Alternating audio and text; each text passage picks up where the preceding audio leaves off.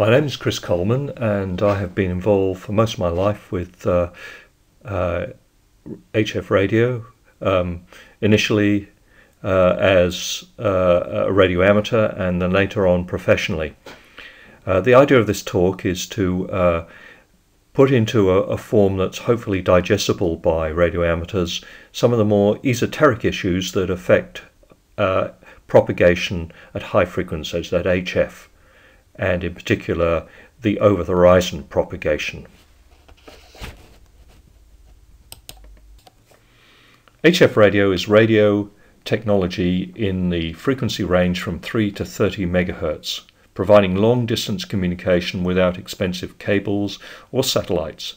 But unfortunately, the bandwidth is limited.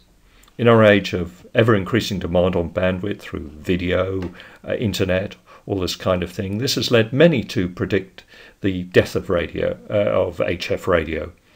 However, uh, at this point, I think uh, the remarks of Mark Twain, uh, when a newspaper prematurely reported his death, uh, these remarks are appropriate.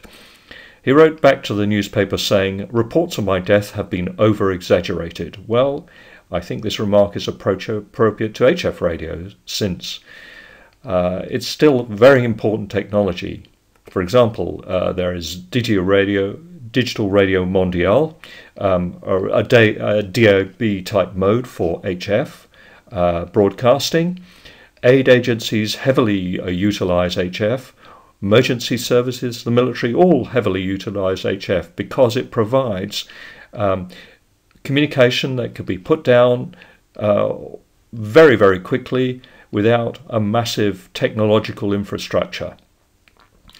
Other uses, especially over the past five, uh, uh, 30 years, have been over the horizon radar, which has provided um, extensive uh, surveillance over very, very large regions at a very small price. And for countries such as Australia, this is important with a huge area to survey and not a huge economy to support a large system of satellites and um, UHF um, microwave radars.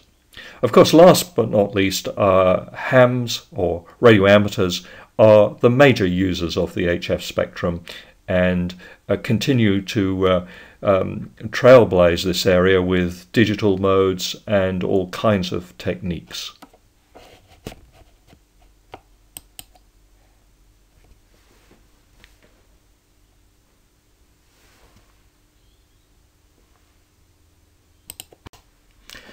Okay, well, let's uh, uh, talk about some basics of radio waves to start to make sure we're all on the same page and uh, understand what we're talking about.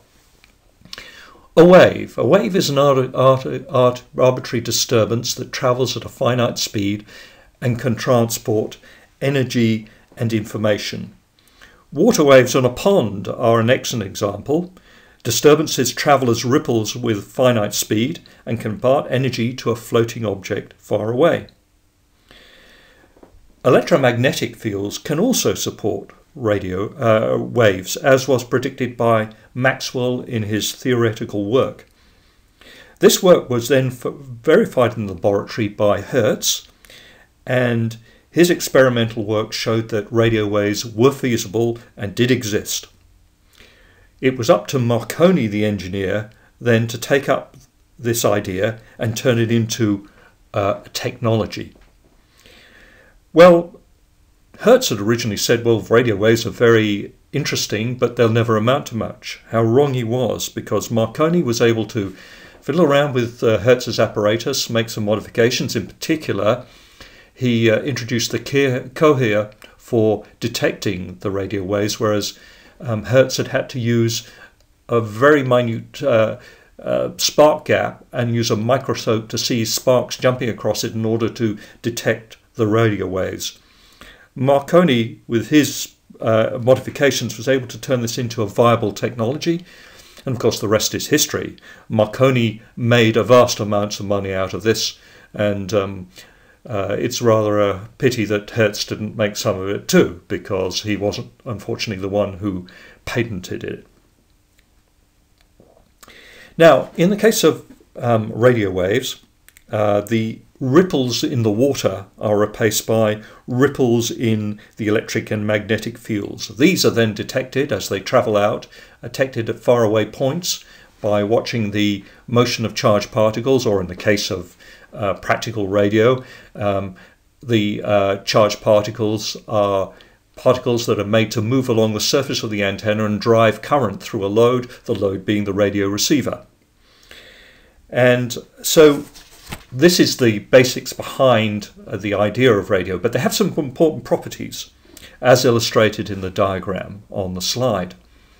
First of all, the electric field, magnetic field, and direction are mutually perpendicular. This is a very important thing that comes out of uh, Maxwell's theory. Secondly, that the electric fields and magnetic fields are not independent. In fact, they're proportional to each other, the constant of proportionality being the impedance of space, that is, a number which is about 377 ohms. Now, HF propagation is uh, basically something which we uh, think of as providing us with over the horizon prop- uh, propagation. And there are two ways, or two major ways, there are other minor ways in which this can happen, but the two major ways in which this can happen is through um, refraction in the ionosphere. Either the signal goes up to the ionosphere and is bent around and comes down to the receiver on the ground. This is what is known as skywave propagation but it's a mechanism for this is refraction in a layer in the atmosphere called the ionosphere where basically the molecules have been ionized by the radiation of the sun, and this gives a refractive property to it. Now, the other form, important form of over the horizon propagation is the surface wave propagation. In this, the waves travel along the ground, hugging the ground by a process that's known as diffraction. Diffraction as opposed to refraction for the, the sky wave and this signal hugs the ground and travels along the ground over the horizon to the receiver. So we have two major ways in which uh, over the horizon HF propagation can happen. Let's now have a look at skywave and surface wave propagation in a little more detail. The propagation path between the transmitter and the receiver is quite often known as a ray. And the uh, study of uh, this propagation path is known as ray tracing. Now, the rays, as they move out of uh, out of the transmitter, can go in lots of different directions, and so these paths spread out from the transmitter. Of course, what's happening is that the power from the transmitter is spreading out, and it's got a wider and wider as it moves out. It's got a wider and wider surface area uh, to cover, and as a consequence, um, the power density gets weaker and weaker. And this is an important point because it means that the further you go away from the transmitter, the weaker the signal. In fact, the power density will drop off as 1 over the square of the distance from the transmitter. And this loss in power is known as spreading loss because of the spreading effect. This is all summarized basically in what's known as the Friis equation. This is a very important tool for um, people studying radio communication because it allows us to relate the power received by a receiver to the power transmitted by the transmitter. And the Friis equation, as you can see there, gives you the received power in terms of various quantities. It's equal to the power transmitted times the gain of the receiver antenna towards the transmitter times the gain of the transmitter antenna towards the receiver times this spreading loss term. And this is uh, an important equation for calculating um, whether your signal is going to get through, basically. And we'll say more about that later. But this in a nutshell, uh, has a lot of the things which you know about. If you want a, a, stronger signal, you increase the gains of the antenna or you increase the transmitter power. Of course, you can't change the distance between you and the receiver. In the case of surface wave propagation, Friis's equation needs modification. It needs an extra term in, in that loss term. And this term is quite important. What we'll notice is that now the loss term is 1 over the fourth power of the propagation, uh, propagation distance. And this means that the power is going to call off much quicker than for a sky wave. And this is uh, a very important thing to note. Uh, the power drops off so fast that one in fact has to use very very great powers in order for it to be an effective communication uh, tool. In the early days of broadcasting, in fact, most of the over the horizon propagation was done via surface waves. And what this meant that in order to get a good signal out, one had to lower the frequency basically, uh, or increase the wavelength. Hence our use of medium waves and long waves.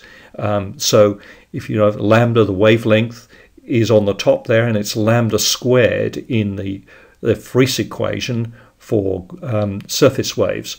So we need as long a wavelength as possible. So we really go down to quite long wavelengths. Um, and of course, we need great powers. In fact, uh, it was so important in the early days of broadcasting. These lower frequency waves were so important that um, by US law, uh, the hams were confined to frequencies above 1.5 megahertz, which were uh, assumed to be absolutely useless as far as anybody was concerned. And what they were doing was maintaining the spectrum for the broadcasters. So the hams, being confined to those frequencies above 1.5 megahertz, went up there and uh, pretty soon discovered HF propagation via skywaves.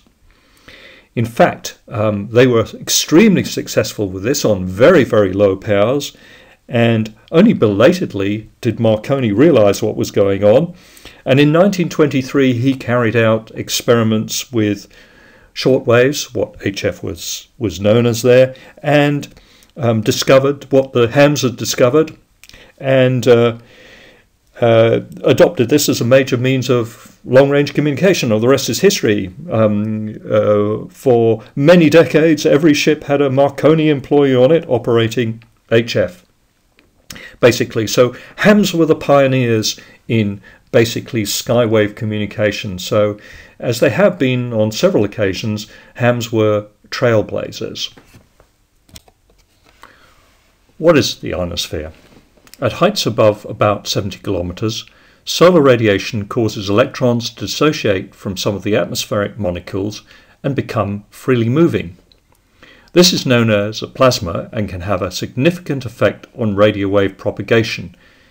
In particular, the propagation speed is found to increase with plasma density. A quantity that provides a measure of the plasma density is known as the plasma frequency. This is the frequency at which a plasma wobbles when disturbed, a bit like a wobbling jelly, and the plasma density is proportional to the square of this frequency. This slide shows the variation of daytime plasma frequency with altitude. The most dense plasma occurs in the F2 layer. This has a peak at a height of around 320 kilometers and the plasma frequency of this peak is normally referred to as the peak plasma frequency. There are other layers at lower heights, the D and the E layer for example, uh, uh, but there is also an additional layer, layer known as the F1 layer, and this is called the F1 layer because actually they belatedly discovered it after the others, and of course they had to slot it in somewhere. So the F layer was split into the F1 and F2 layers. But all of these other layers, the F1, E and D, are minor in comparison with the F2, and most of the useful over-the-horizon HF over the horizon propagation occurs by means of refraction at F2 layer heights below the plasma peak itself.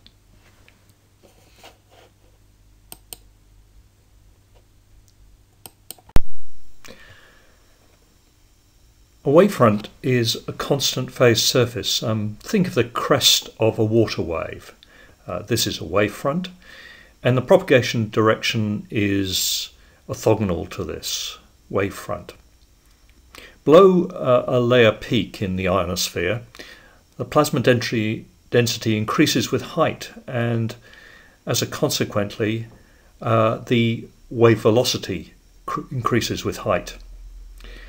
So, when a wave enters the ionosphere, the upper part of the wavefront travels faster than the lower part, causing it to tilt, and it'll tilt towards regions of lower plasma density. If there's sufficient tilting, well, this will end up turning itself back towards the ground, and we have essentially skywave propagation. A similar kind of thing happens in the case of ground waves. The wave speed is actually slower in the ground than it is in the, um, the, air, the air above the ground, and this is, causes the wavefront to tilt towards the ground. Of course, this can tilting continue during propagation, and as a consequence, the ground wave hugs the ground and is able to perform over the horizon propagation. Now, I've mentioned the idea of a peak plasma frequency before. That is the greatest plasma frequency that the ionosphere can attain, which obviously occurs at the peak of the plasma density. And this is an important concept. For a start, let's have a look at uh, uh, what happens when rays are sent out from a transmitter, located at the origin in this picture, uh, at a frequency which is above the plasma frequency, greater than the plasma frequency. Well, what we have is ray tracing, which shows how the propagation paths go. And there are several features which we need to um, focus on here. The first, there is a region known as the skip zone around the transmitter that cannot be reached by any of the radiation from the transmitter. And this means that there are regions close to the, the sender where no signal can be obtained via skywave, that is, maybe some ground wave will get through, but certainly not skywave. Another thing to notice about this is when the rays do start coming down, at each point um, there are two rays. Uh, we've only shown rays up to a certain elevation here, but if we carried on the elevation, they would increasingly move outwards. And so each point of the ground will be covered by uh, two rays, i.e., there are two paths of propagation from the transmitter to any point that can receive the signal. But there are lots of points where the signal cannot be received, that is in the skip zone, which is a zone around the transmitter. So, this is the reason why you can't talk to your mate just down the road but you can talk to something, somebody um, a thousand thousand kilometers away. You know, interesting uh, story about that is in the early days of radios when we had lots of radio stations communicating. Um, an old operator was telling me his mate just down the road in another station, they'd send a, a signal to um, to a distant station, which would send a signal back, telling the guy just down the road it was time for tea. So a huge long distance was used to communicate in order to uh, to get a, a, a, signal only a short distance. Okay, so that's what happens for propagation at frequencies above the plasma frequency.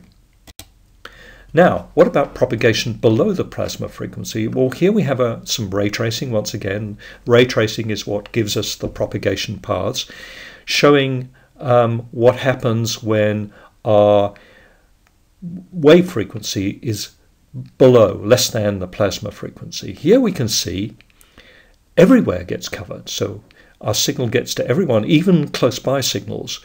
Uh, what is commonly known now as um, uh, quasi vertical propagation. But there is only one path to each point. So below the plasma frequency, operating below the plasma frequency, there's only one path, but everywhere can receive it. Above the plasma frequency, there are two paths to any point that can receive the signal, but there are people, there are areas which cannot receive the signal. We've seen that um, the propagation changes quite dramatically with frequency, and what we've got in this uh, movie we're showing you here is how, uh, in fairly general, the um, the propagation changes the frequency. So this is a a path between Bath and Westmorland in the UK for a spring evening.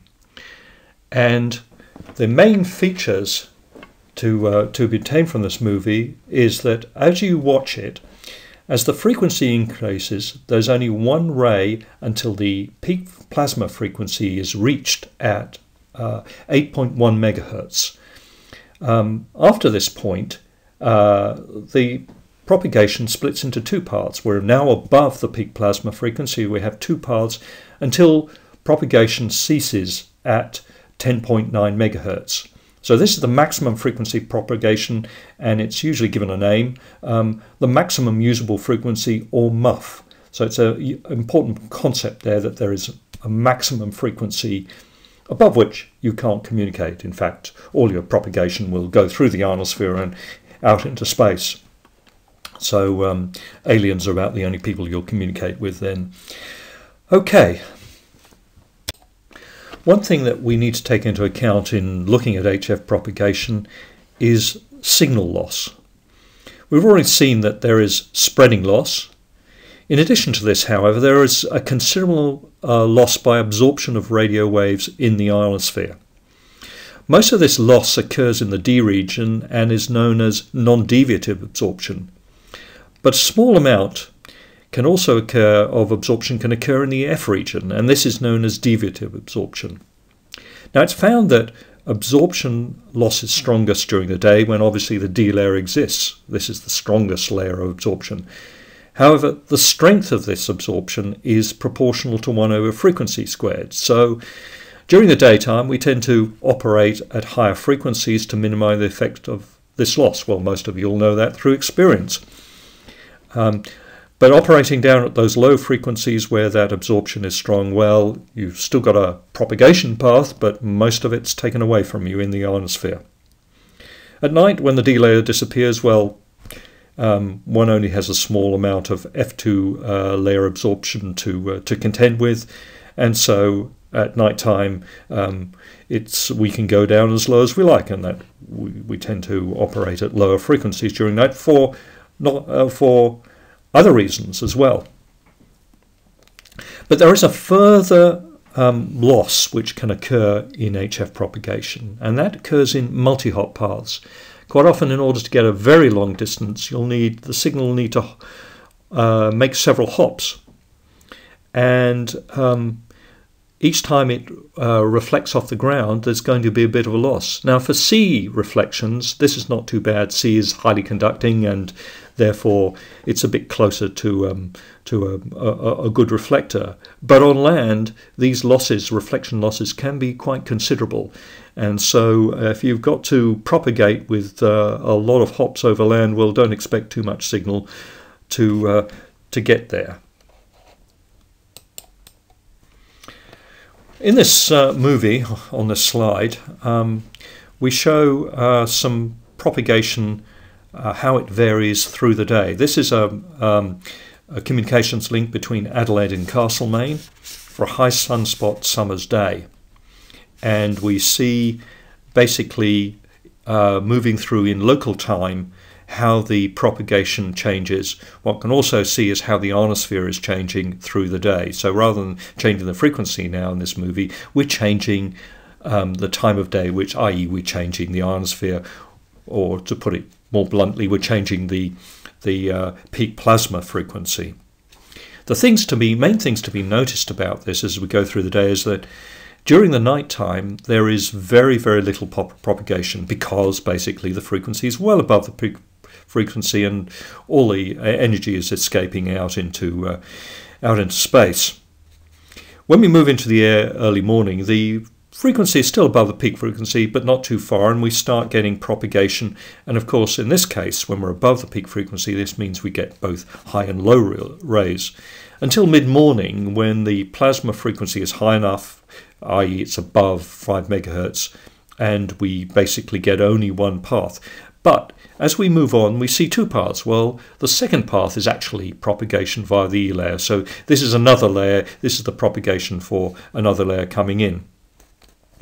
Um, by late afternoon, um, basically, um, and evening, we're basically down to uh, one path uh, since um, we, we, we, uh, our, our, wave frequency is below the peak frequency.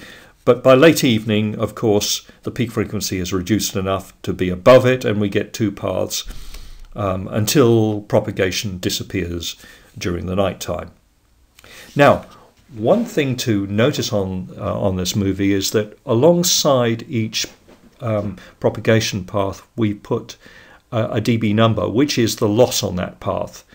And the thing to notice is that when we come down to this E layer propagation during the daytime, the loss on those paths are very, very much greater, you know, 30 dBs or more, um, than the loss on the F layer passes. So although we've got this E layer propagation available uh, in the middle of the day, it's uh, going to be wiped out by absorption, so it's, it's not much uh, use to us.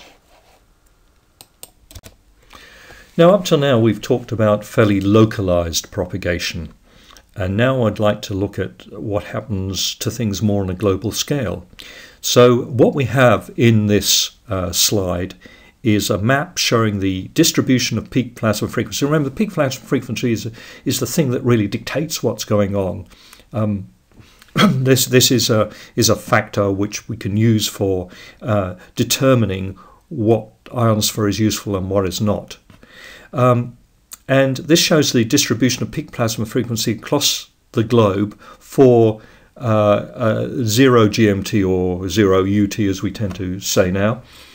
Um, so zero here is is is the line through um, through um, through Britain, and at that time of day, um, one can see that there is a distribution. Uh, there's there's plasma almost over the whole of the planet, but um, there are significant uh, areas of non-plasma. So we'll talk about those. Daytime uh, really on this map extends between 90 degrees longitude and 270 degrees longitude.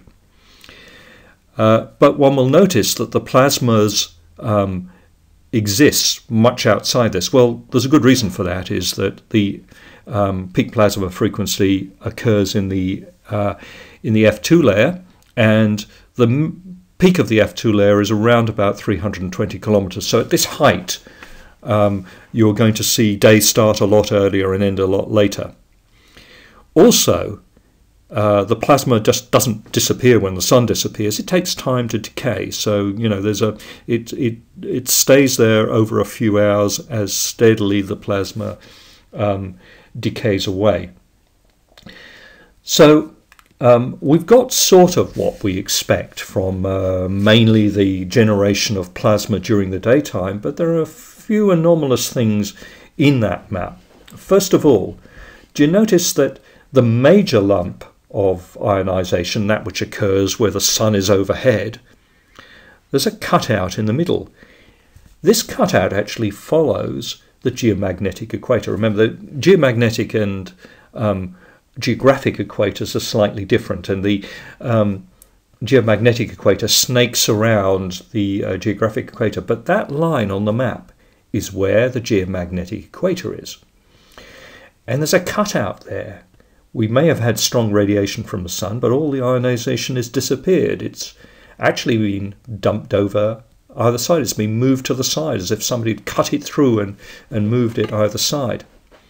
That's not the only anomalous thing we're seeing in this picture. We expect most ionization to occur during the daytime when the sun is um, uh, radiating down on the Earth. But have another look. Up at the higher latitudes, round about 70, 80 uh, degrees latitude, both north and south, during the night time, the ionization is strongest. Well, that goes counterintuitive. Once again, it's weak during the daytime and strong during the nighttime. So there's an, another anomalous thing. So the idea that it's just solely the sun that drives everything and we can get a picture of what's happening from that doesn't really wash. Um, we have something strange happening. As we've seen in the previous slide, the anomalous distribution of um, plasma in the ionosphere is in some way connected with Earth's magnetic field. This in turn is strongly affected by the solar wind. The solar wind is a wind of ionized particles which are being streaming out of the sun at a speed which uh, causes, when the, the wind gets to Earth, um, a shock wave around the Earth as the, the winds are deflected around the Earth. And this forms what is known as a bow shock around the Earth. Now, these, the effect of this wind is also to compress the magnetic field lines of the Earth in the uh, sunward direction of the Earth. On the leeward side, they stretch them out. So the solar wind itself is having a dramatic effect on the Earth's field lines, which are generated by um, mechanisms going on inside the Earth, but are affected by this solar wind. Now, an important thing to um, uh, know about the, um, the field lines is that they act like conducting lines for the charged particle. The physics says that the charged particles will move along these field lines. And an important thing to notice about the field lines, although most of them are closed, at the polar regions, both south and north, they're open. They stretch out into the um, into the um, outside medium. What this provides is a route for charged particles to get down from outside into the Earth's uh, uh, into the Earth's polar regions, and this causes uh, some quite dramatic effects at these high latitudes. Um, at times, the particles, mainly from solar origin, can be so strong as to cause dramatic effects such as uh, aurora, and these can have uh, both a dramatic visual effect, obviously, but also an effect on radio waves.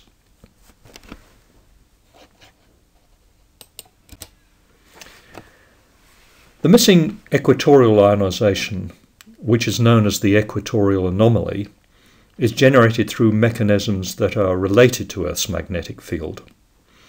In this slide, we show what those mechanisms are. Basically, what happens is that during the daytime, when the E layer exists, uh, the winds in the atmosphere sweep the plasma across the magnetic field lines and it causes electric fields by a dynamo effect. Now, the magnetic field lines, as we've mentioned earlier, act like conducting wires. And these conducting wires transfer this electric field up into the F layer. So it becomes from a horizontal field, it transfers into the F layer onto a vertical field. And this, together with the magnetic field of Earth, causes particles uh, ionized particles in the F layer to be driven upwards in a motor effect. So they're driven upwards, and they're driven upwards till eventually uh, they they lose oomph and fall back along the field lines. And as they fall back along the field lines, they accumulate either side of the equator, which is the center of this diagram here. So where the motor is, is at the equator. So this ionization at the equator is basically scooped out and dumped either side. So we get a strengthening effect either side of the equator. The mag- this is the geomagnetic equator, and uh, a weakening effect of plasma along the equator. So this is what is the mechanism for the uh, creation of the equatorial anomaly. Now, the question is, what effect does this anomaly have on propagation? So here we see a cut through the, um, the equatorial anomaly from north to south, and we have propagation from south to north here. So this is a slice through Australia, through Alice Springs actually, and shows propagation across this anomaly. Now, the important thing about this picture is that in order to retain detail, we plotted um, the height of the rays, the propagation paths, against the range on the ground. And uh, this has the effect of unfolding. Uh, remember, this propagation is around a uh, spherical Earth, but it's unfolded um, the spherical the, uh, nature onto a straight line. So um, one has to take that in account when looking at the picture. Um, the thing is that we've got lots of propagation by multi-hops to great ranges. So, you know, we've got propagation up to 7,000 kilometers there. That's where it's been stopped. Goes on beyond there. Um, but the multi-hop stuff, there's quite a bit of that. Um, obviously, as it goes through the this is this is a daytime propagation as it goes through the um, the E layer. There's going to be quite a bit of um, non-deviative absorption, a little bit of deviative absorption in the F layer, but there's going to be quite a bit of it. Also, it's uh, going to lose power as it uh, hits the ground, and um, uh, some of that is on land, and so consequently, there's going to be a lot uh, lost due to that. So those multi-hop signals can be quite weak when they arrive. Now, if you have a look at that picture, there's ones there's propagation arriving at quite large ranges, which only has had one or maybe uh, two hops. Um, and if you have a look at that, uh, what's happening with that? We see some propagation from to about uh, 6,000 kilometers there, uh, well, just over 5,000 kilometers, which has, hasn't hit the ground.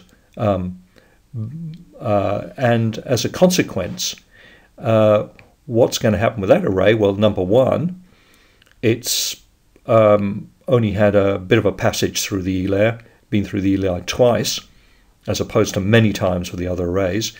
Also, um, um, the central part has missed the um, uh, coming down on the ground by the fact that what it's done is it hit one side of the anomaly and skipped over to the other side. It's what's known as a chordal mode. Of course, having unwrapped uh, the the um, the chord from the ground by changing to these coordinates, it's it's uh, it's dipped downwards, but in fact that in reality is a straight line.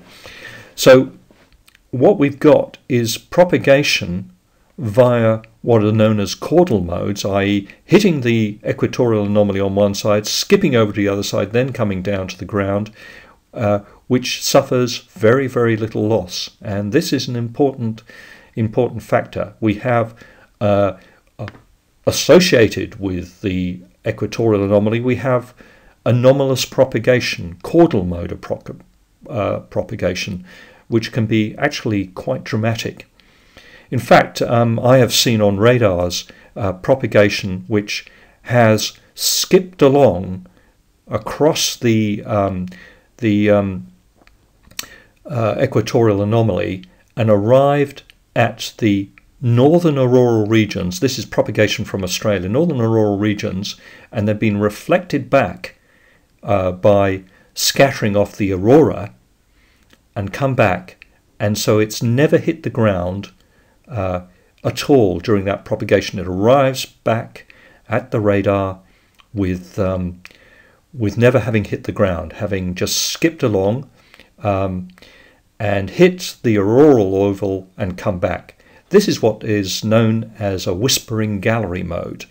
And uh, those of you who've been to places, quite often dam walls, where you can do this, you can you can speak on one side and your sound can travel over to the other side. So, a whispering gallery mode is one of the things that can happen due to these rather strange ionospheric effects. Well, what about those anomalies in the high latitudes? This figure shows a view of the ionosphere looking down from the magnetic North Pole. So we're looking down onto Earth um, on the, the, the northern pole. In this picture, the outer red ring is the basically is um, the mid and low latitudes. That's the ionization towards the equator and at those mid uh, latitudes. Uh, ionization basically below about uh, 50, 60 degrees, round about there. What we have looking on this is um, basically a ring in the middle around the um, the magnetic north pole, and this is uh, known as the auroral oval. Now, the Earth's magnetic field, together with the solar winds, they act together to cause an electric field in these higher latitudes, which conducts down into those latitudes through those open field lines, and in turn drives the plasma here. So there's a kind of driving effect of the electric fields caused by this, like, like just like we had in the motor effect in the equatorial anomaly. Now, what happens is that it drives the plasma in the way shown by the blue flow lines. Those show how the plasma is flowing. And what one can see is from the direction of these flow lines, it's driving plasma from the day side to the night side. And what happens is it scoops up plasma on the day side and dumps it on the night side. And so this external influence is causing in the aurora regions uh, plasma to be dumped on the night side of the um, of the oval there. So it thickens up there, and of course, scooping away, it empties out the plasma on the on the day side. So it's uh, quite important what's happening. Now, what one also can see from this is that this is causing a region of low ionization on the sunward side between the mid latitude um, uh, ionosphere, that is the outer red ring, and the, the aurora oval. So all that plasma is scooped up and dumped on the other side. And this um, area of uh, weak ionization extends out to the other side because, of course, at night, the mid latitude um, ionosphere has weakened. Uh, there's no longer the sun driving it, so steadily it is decaying in strength. So obviously there's going to be um, a bit of a loss of ionization on that side. So the net effect is um, an inner, uh, if you like, um, oval of plasma, outside which is an area of little plasma going down to the mid-latitude span. So this area of um, uh, uh, lower plasma has a name. It is called the mid-latitude trough.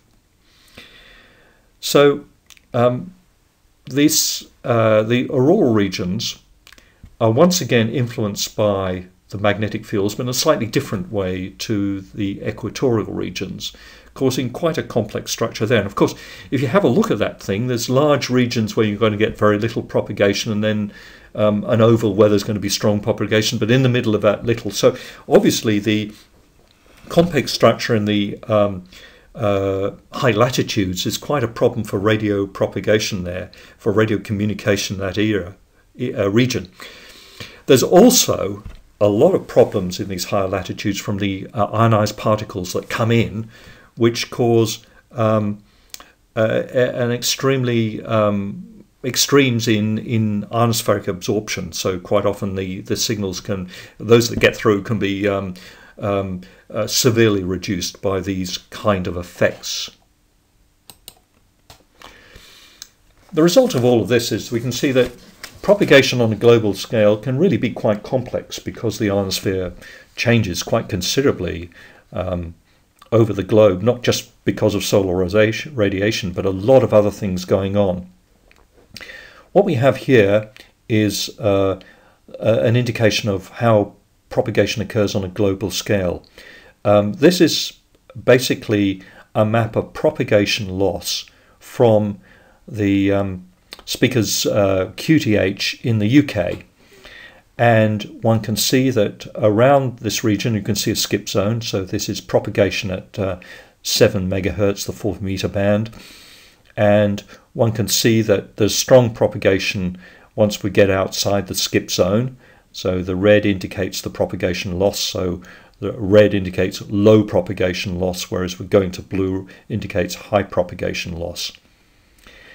And also superimposed on this map are some contours of the peak plasma frequency. Remember, the peak plasma frequency is the thing that really measures the strength of, of the ionosphere at a particular point. So um, we have we can see the equatorial anomaly in the middle of that, and uh, we can see how the ionosphere changes in those high latitudes. It's down to about three megahertz, but in the anomaly, it's up to about 11 megahertz.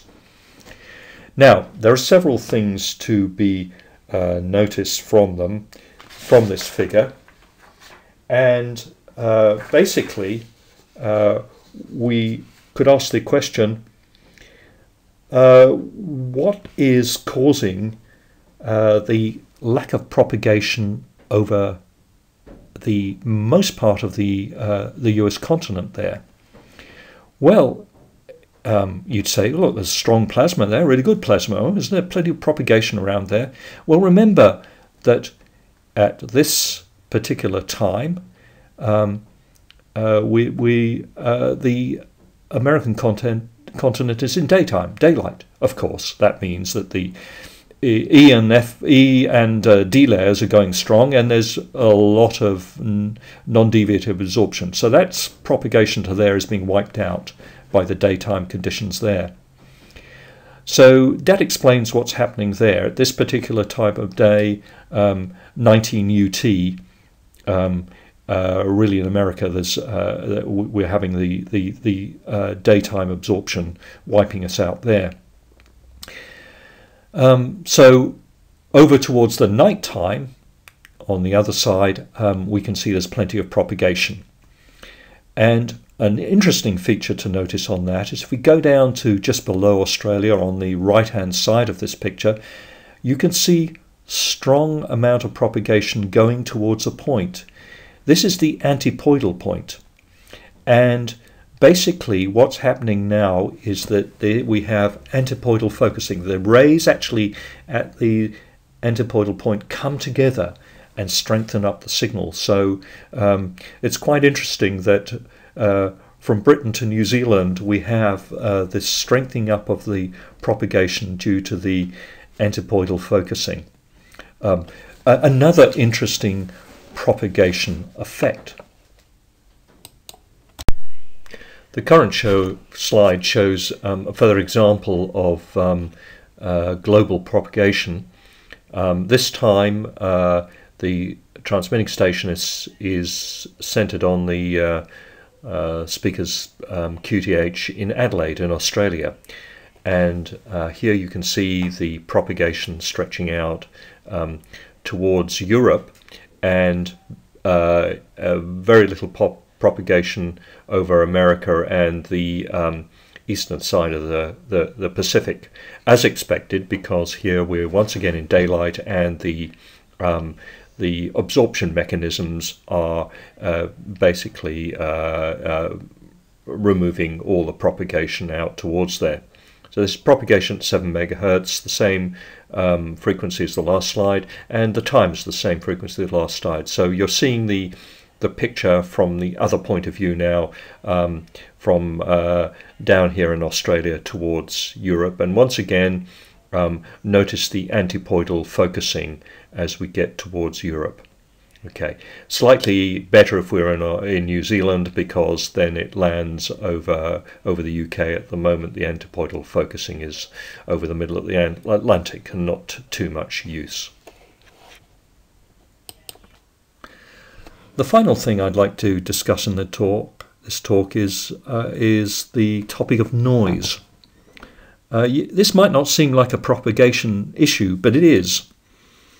Uh, noise is uh, broadly defined as uh, consisting of unwanted signals uh, that compete with our desired signals. Um, this will affect the signal to noise ratio, and this is the important factor when uh, deciding whether you can decipher a signal as the signal to noise. You know, for some very narrow band modes, we can do with a very small signal to noise, but um, quite often uh, we need a relatively high signal to noise for things like a single sideband. Um, so it's the competition between our desired signal and undesired signal. The noise is the undesired signal. Now, there are two sorts of noise. First of all, there's internal noise that's created in the electronics of the equipment. So a low noise first amplifier will fix that. I mean, you can show that the first amplifier is the most important one. You can have rubbish after that, basically, as long as your first ampli amplifier is low noise. However, there is the external noise, and you're still at the mercy of this. You can't do anything about that with the electronics. Uh, this can come from uh, man-made sources, you know, your next door neighbor with his power drill, plasma television, you name it, you've experienced it. Galactic noise, this is stuff from the galaxy. It's very weak, but it still can come through, um, especially at much higher frequencies. And there's atmospheric noise, mainly lightning. Um, in the uh, diagram there uh, is shown typical results from the IUT model for noise. Uh, this is a major tool used by most propagation uh, uh, prediction software, and um, it's important in, in determining SNR, signal to noise ratio. From this, we can see that the atmospheric noise is a major source of noise at HF, certainly the lower HF frequencies. And you can't fix this by choosing a better receiver site. I mean, um, you can try and choose a rural site, but that atmospheric noise will still come in.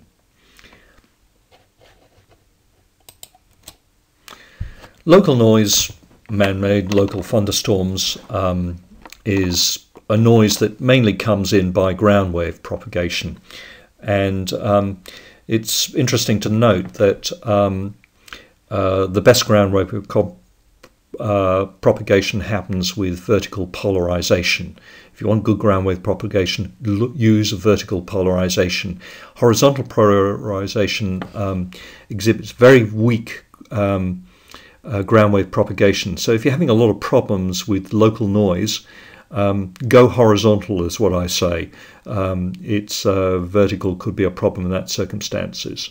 Um, Non-local noise, on the other hand, is galactic noise, stuff coming in through through the uh, the ionosphere. Um, obviously, if we're very low frequencies, this won't get through because what stops or reflects you at low frequencies will stop the galactic noise getting through. It'll reflect off the ionosphere. But distant thunderstorms are something that are a real problem because they can propagate via the ionosphere. A thunderstorm is lightning strikes will uh, basically um, give out uh, energy at all frequencies and uh, which means that uh, um, they're a problem for all frequencies, especially at frequencies that propagate via the ionosphere. So if you're having good um, propagation, DX propagation, you're probably having good noise propagation.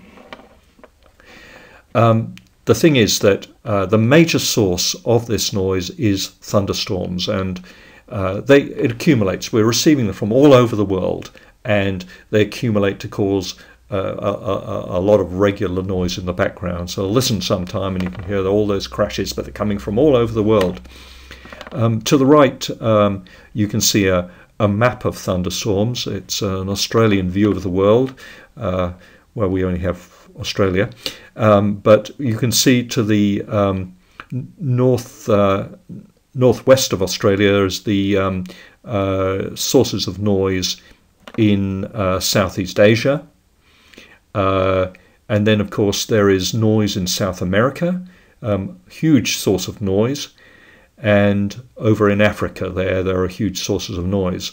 Um, these this map is of uh, strike rate of thunderstorms, and um, it's a, part of a series of maps which were made up by a series uh, by some Japanese researchers and are very useful in um, uh, investigating noise.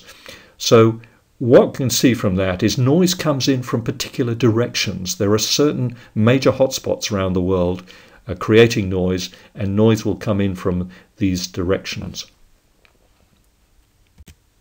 Here we have some maps of noise, sky maps. There um, uh, noise coming in from different elevations. So the rings on those maps are at um, the outer ring obviously is at, at a zero degrees elevation, coming up to 30, then 60, and of course in the central map 90. So these are sky maps of noise coming in. Um, we have top left hand corner, we have uh, the noise picture at uh, Alice Springs. You can see a lot of noise coming in from the uh, northeast, from that Southeast Asian sources. Uh, down below that, we have noise in the uh, London, in the UK. Um, there we see noise coming in from uh, basically the from the east, from eastern sources, and of course there is noise in the southeast coming in from, uh, uh, or southwest rather, coming in from uh, Latin America.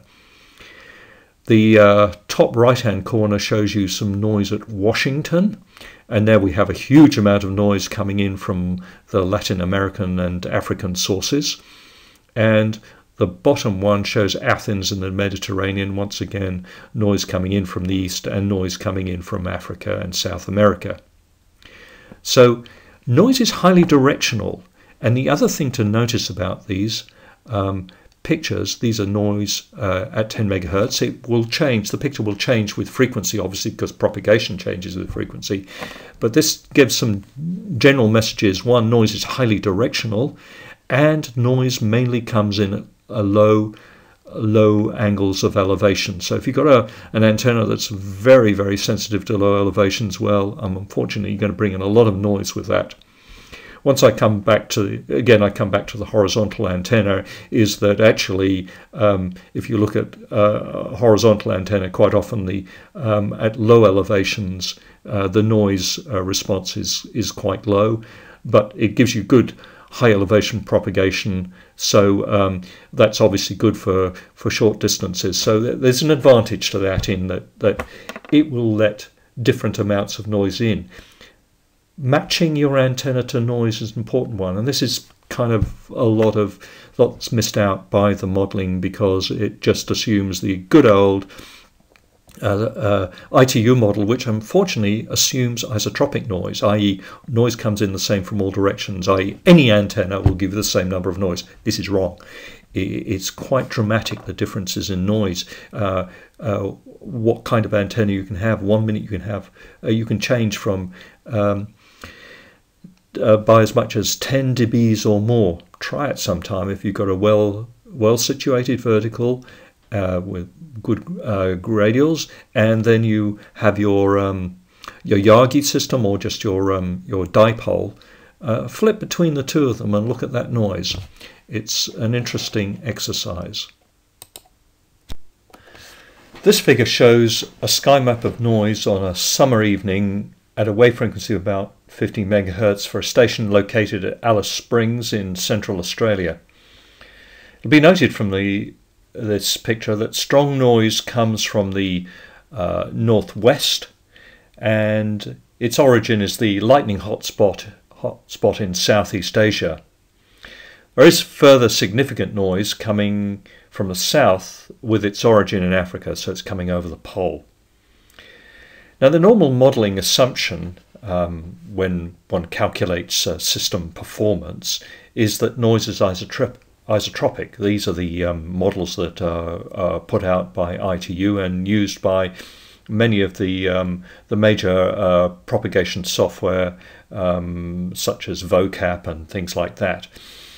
Um, and what these assume is that the same noise comes in from all directions, i.e., that all antennas receive the same noise. And uh, it's worth putting that uh, that assumption under the microscope. What we've done in this picture, we plotted on the sky map of noise, we plotted a sky map of uh, antenna gain. This is a three element Yagi, which at present is pointing northwards. Um, so you can see plotted the contours, the different gains of the antennas. The maximum gain is around about just over 10 dB. So the central circle there um, is uh, a 10 dB circle pointing northwards. Then next out comes uh, 5 dB, then 0 dB, then minus 5 dB. So showing uh, the uh, response of the Yagi antenna in different uh, directions over the sky. I superimposed on the sky map. What is clear from this is this Yagi pointing northward, say if you're trying to communicate with Japan uh, from Australia, uh, what is obvious is that uh, the antenna's very strong response, strong gain towards those noise sources in Southeast Asia. So it's bringing a lot of noise there. The African noise, well, it's right in the back lobes of the antenna. Um, uh, there's virtually no gain down there, so that, that's not affecting it much. But that southeastern noise is affecting the antenna quite considerably.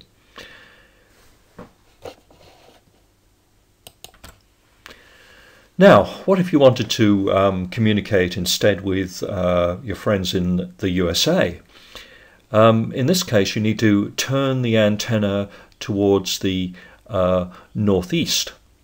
And in this next slide, we show the, the noise pattern at the same time, uh, same frequency, uh, with the uh, superimposition of the Yagi gain pattern, this time the Yagi pointing towards the northeast, towards the American uh, continent. And what we'll now see is that uh, over the main noise sources, i.e., Africa and Southeast Asia, the antenna has very, very little response. And so, as a consequence, there won't be much noise coming into your antenna, very, very much reduced. So, towards America now, your signal to noise will be uh, really very good. So you'll be able to pick up very, very much weaker signals coming from America because they are not being competing with so much noise, that unwanted uh, signal. What you can see from all of this is directionality is extremely important um, uh, property of noise, which is feeds through into your antennas. How much noise you're going to be receiving at the station is going to depend on the kind of antenna, its orientation, and its response in the noise directions. So the assumption that's often made in most of the propagation uh, of the uh, prediction modeling that uh, all antennas receive the same noise, that noise is isotropic, really has to be called into question.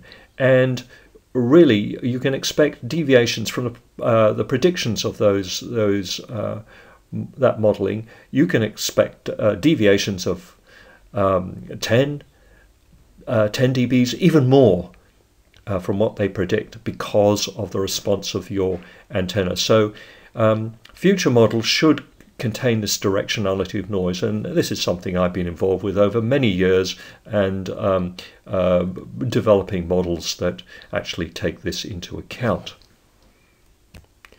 Well, that's for all all for now, folks. Um, there's much more to talk about. Uh, two topics we've missed out are sporadic and um, scatter propagation.